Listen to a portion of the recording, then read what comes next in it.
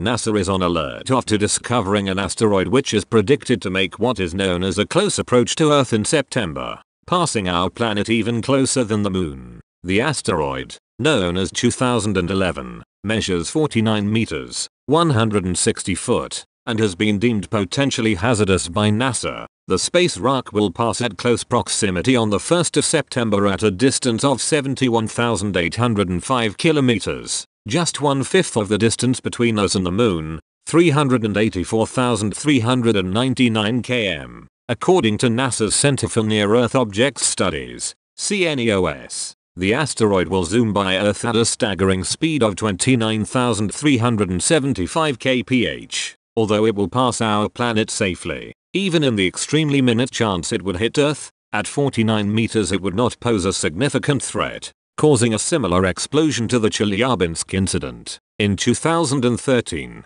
a 20 meter meteor exploded over Chelyabinsk, Russia, smashing windows and caused injuries to more than 1,000 people. But despite its small size, NASA has described the coming space rock as a potentially hazardous asteroid. The space agency said, potentially hazardous asteroids, PHAs, are currently defined based on parameters that measure the asteroid's potential to make threatening close approaches to the Earth. Specifically, all asteroids with a minimum orbit intersection distance, MOID of 0.05 or less are considered PHAs. It is also a near-Earth object, NEO, giving NASA the perfect opportunity to study the history of the solar system. NASA set on its Jet Propulsion Laboratory, JPL, website, NEOs are comets and asteroids that have been nudged by the gravitational attraction of nearby planets into orbits that allow them to enter the Earth's neighborhood. The scientific interest in comets and asteroids is due largely to their status as the relatively unchanged remnant debris from the solar system formation process some 4.6 billion years ago.